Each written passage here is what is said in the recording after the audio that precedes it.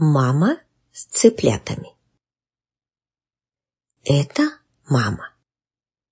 Что она держит?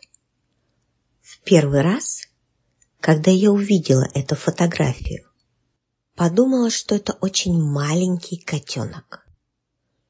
Но оказалось, что она держит крохотного цыпленка. Почему?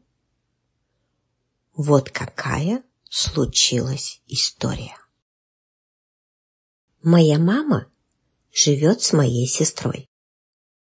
Дом сестры и ее мужа находится на озере.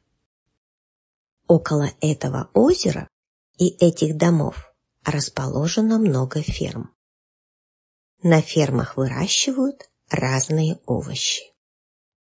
Несколько лет назад сестра купила большое поле.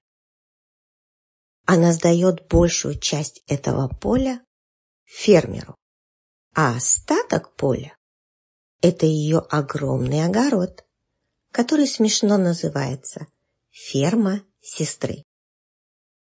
Каждый год она выращивает на этой ферме много овощей. В прошлом году сестра решила, что ей нужно купить куриц. Хотя эта идея не понравилась мужу, он построил на ферме домик для куриц.